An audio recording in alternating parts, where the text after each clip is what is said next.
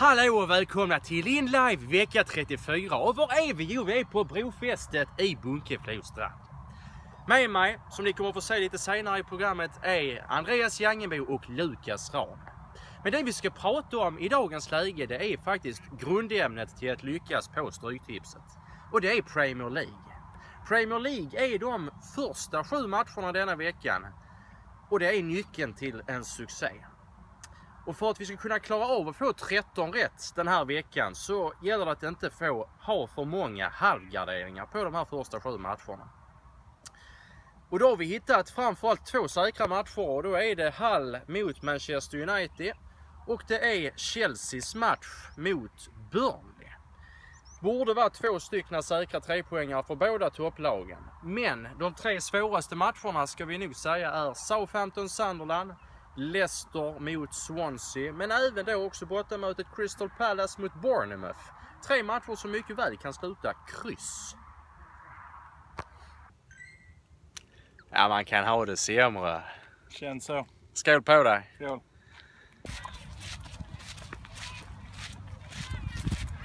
Hull, Manchester United. Lukas, Säker etta. säker etta på Hull. Ja. Tvåa. Säker tvåa. Jag kan nog lägga till ett kryss där.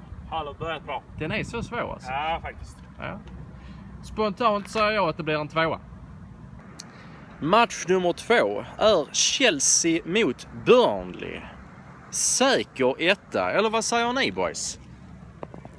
Nej, det är väl inte så mycket att diskutera. Nej. Nej. Match nummer tre.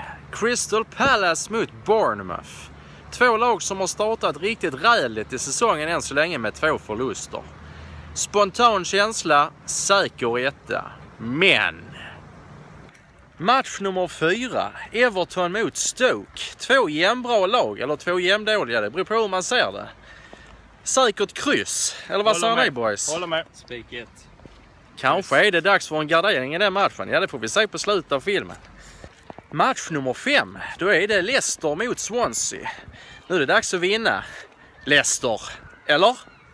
Vad säger ni boys? Spik Spik kryss. 1. Jag säger etta. Ett. Lite oense. Är jag några squirtles? Nej. Alltså vi har ändå hittat några. Den har inte jag. Har inte du den?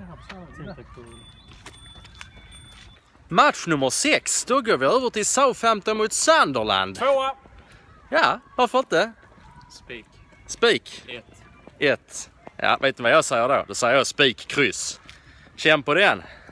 Match nummer sju, då är det Watford mot Arsenal. Vad tror experten Lukas om detta här? Det är spik 2. Är det en spiktvåa? Ja, det är det faktiskt. Ja. Det är dags att vinna även för Arsenal. Spik 2. Match nummer åtta, då är det Nottingham mot Leeds. Ett Leeds som vann sin första match nu i senaste matchen i match nummer fyra. Är det dags för en ny seger borta mot Nottingham boys? Pontus Jansson löser biten. Pontus Jansson. Två mål. Är vi lika säkra Lukas? Vad var det? Leeds mot Nottingham? Nej, Nottingham Leeds. Nottingham? Nej, det är vi fan inte. Ett kryss. Utgångskrysset. Sen får vi se på slutet vad jag mer säger.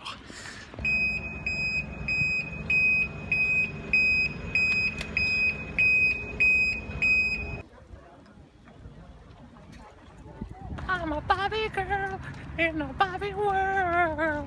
Da-na-na-na. Den rösten fick ungefär Aston Villa förra året när de åkte på pumpen ordentligt i alla matcherna. Ja, men inte denna matchen. Nu möter de Bristol City, Ja. match 9 bort, på bortaplan. Spik Aston bara för det. Spik Aston. Ja. Är det en Säg- coacher? Säg det igen. Aston. Mot? Bristol City mot Aston Villa. Ah, kryss.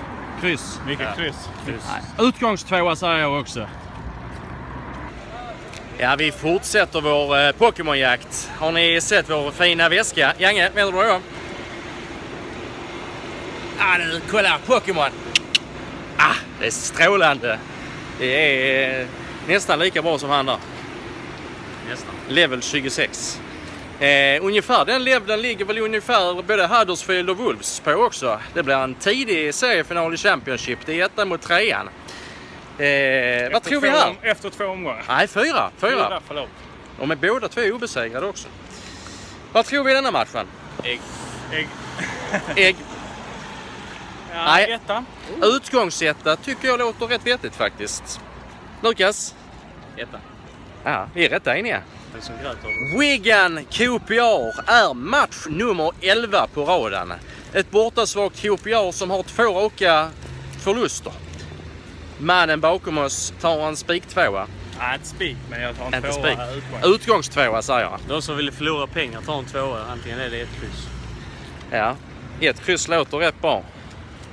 Men vi har krysset som utropstecken.